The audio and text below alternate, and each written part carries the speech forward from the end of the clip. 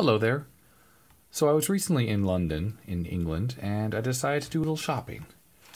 So I went into a Poundland and I picked up uh, one of these bulbs here. These were a pound each, so it comes out to be about a dollar forty. Not bad considering in the UK there's twenty percent tax on everything you buy. So that pound actually included tax. Uh, so I picked one of these up, and of course, um, this is one of those GU10 bulbs. Let's take a look at it inside here. Uh, let's see here. GU10 means halogen replacement. There it is. Um, now, of course, this is a 5 watt one, uh, which they claim, well, they just say 5 watts. Oh, 330 lumens. Now, 240 volts, of course, this is what it's made to, to run on. And we know this is a capacitive dropper uh, power supply, so very, very inexpensive and cheap. Um, Big Clive has taken these apart, and possibly others. So you can see they're very cheap construction, but I mean, you know, it's a plastic body, but pretty hard. Uh, it seems decent.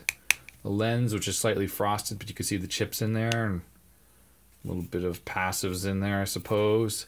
But I was always curious, what happens if you try to run one of these on 120 volts? So I'm in the U.S., and um, unfortunately I don't have a handy socket here.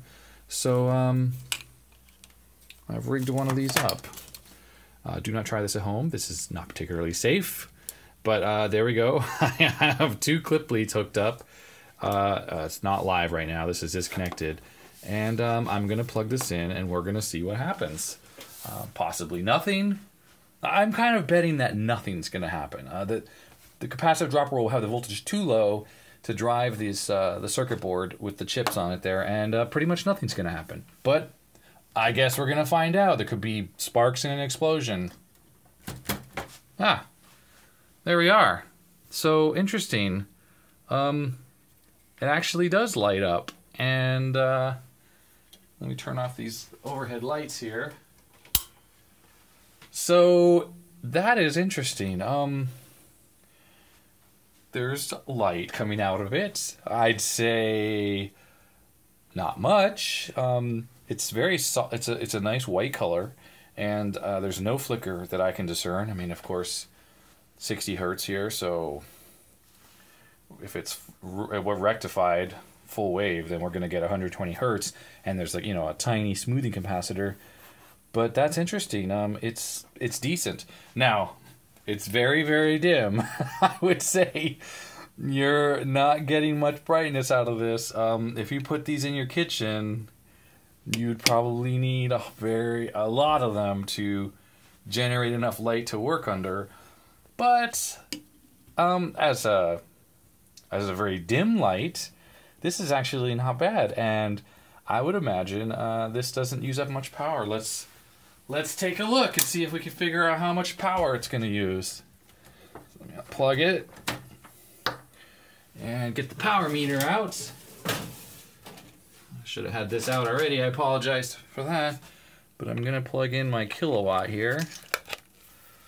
I can't do it on camera, unfortunately. All right, here we go. Kilowatts. Okay, so it doesn't actually register any anything on the Kill A Watt. Let's take a look at amps. Yeah, 0.00 amps. So the current shunt in the Kill A Watt can't actually register the power. So let's just say if you want really, really low power uh, and pretty dim LED lights to put in your halogen fixtures, these uh, one pound or a dollar forty Poundland lights, when used in the United States, will actually will actually work for you. Um, of course, uh, you know if you've seen Big Clive's videos, if you take them apart and you remove the power supply, the capacitive dropper, you know the main capacitor, you can just change the value and get something that would be a bit more acceptable for the U.S. and have this run at you know whatever brightness you want. You can control that, but um, yeah, that's uh.